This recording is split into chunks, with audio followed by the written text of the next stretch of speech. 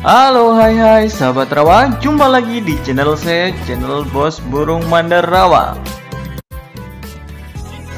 Wey, untap intip, untap intip, ngesubrek. Assalamualaikum warahmatullahi wabarakatuh. WhatsApp guys, WhatsApp eh sorry inbox aja karena WhatsApp pribadi ya sahabat rawa. Nah sahabat rawa ini adalah anak burung dari mandar besar dan mandar merah.